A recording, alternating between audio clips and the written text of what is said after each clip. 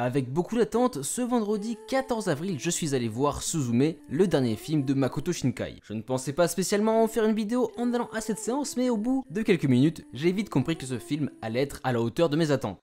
Yo les soldats, c'est le cas du bâton d'animation et aujourd'hui, je vais vous donner mon avis sur Suzume, tout en vous présentant le film, bien sûr. Cette vidéo fait donc un peu écho à celle publiée sur Tenkinoko il y a maintenant plus de 3 ans, qui avait d'ailleurs presque le même titre, assez putaclic, on va pas se le cacher. Et si tu aimes ce genre de vidéo un peu différente de d'habitude, n'hésite pas à lâcher un gros pouce bleu et à t'abonner si tu découvres la chaîne avec cette vidéo.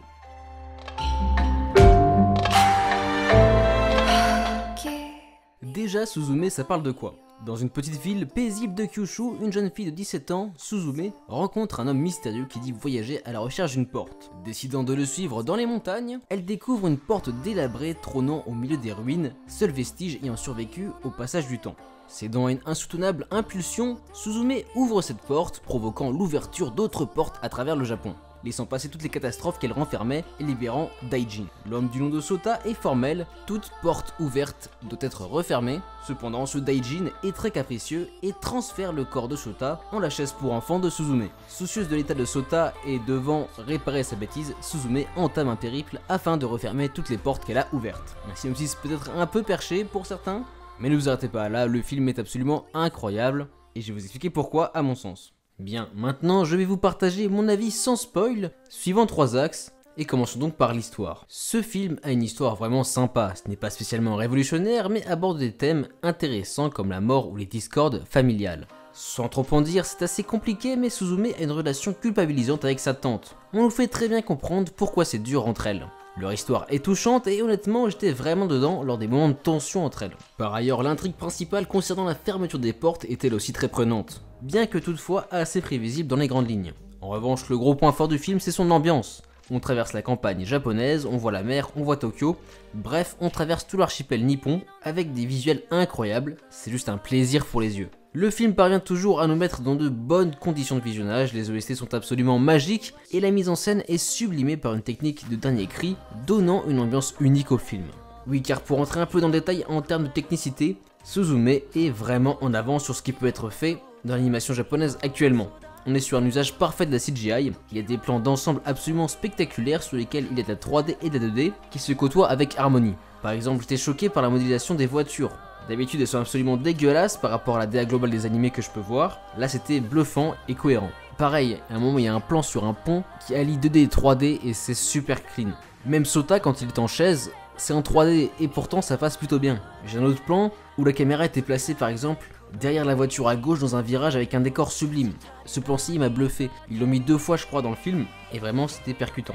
Vraiment on sent qu'il y a une véritable maîtrise de l'outil. Pareil, il me semble pas avoir déjà vu des timelapses dans des films d'animation japonaise, ou du moins pas des aussi propres que dans ce film. Il y a vraiment de très bonnes idées de mise en scène et de réalisation, c'est très très fort à mon sens, rien que pour ça le film mérite le détour. En revanche, la CGI dans les plans de foule, ça passe toujours pas très bien, même si les car design des personnages sont plutôt simplistes, eh bien euh, en opposition à ceux en 3D, ça fait bizarre. Après je comprends, ça va être très très long à faire les plans de foule, mais voilà, en tout cas ça m'avait un peu perturbé durant le visionnage, mais rien de bien méchant. Parlons maintenant un peu des personnages, je trouve que c'est aussi une des qualités du film, notamment l'héroïne. Pour une fois dans une production de Makoto Shinkai, le personnage principal est marquant. D'ailleurs le nom du personnage est éponyme au nom du film, preuve qu'il y a eu un travail profond sur ce personnage principal, chose qui manquait un peu dans Tenkinoko ou Your Name. Pour en revenir à Suzume, c'est un personnage drôle, attachant et spontané. Ce personnage est à mon sens une vraie réussite. Bon, après j'ai vu que certains trouvaient le coup de foudre un peu hâtif de sa part pour Sato, mais je suis pas d'accord. Comme elle le dit, son visage semblait lui dire quelque chose, ce n'est pas qu'un simple coup de foudre, parce qu'il est beau gosse. Non non non, tout n'est que boucle dans le monde des morts, ne l'oubliez pas. Sato est aussi un personnage attachant, mais j'ai pas grand chose à relever à son sujet. En revanche, son pote qui a la voiture rouge, j'ai oublié son nom, est vraiment trop cool. Son impact sur le bon déroulé du film est sans précédent. Non, vraiment, je l'aimais beaucoup trop. La tante de Suzume ainsi que les différents personnages l'aidant dans sa quête remplissent tous très bien leur rôle et c'est tout ce qu'on demande. Ils ont chacun le droit à leur petit moment de gloire, et ça fait plaisir. Et enfin, je ne pouvais pas ne pas en parler, mais Daijin est mon vrai coup de cœur du film. Difficile d'évoquer son cas sans spoiler, mais si vous avez vu le film, j'imagine que vous comprenez pourquoi je l'aime autant. Et puis, la Seiyu qui a doublé Daijin a fait un travail monstrueux, on va le dire. En tout cas, moi j'ai kiffé. Voilà voilà, c'était mon avis sur Suzume. J'avoue la vidéo était assez courte, mais difficile de faire plus long en ayant vu le film qu'une seule fois, et surtout sans spoil. J'avais quand même pris quelques notes durant le film, j'avoue que c'était pas forcément évident, voulant absolument kiffer la séance. Mais bon, la vidéo est là, et j'espère que vous serez ouvert à l'idée de discuter avec moi en commentaire sur ce film.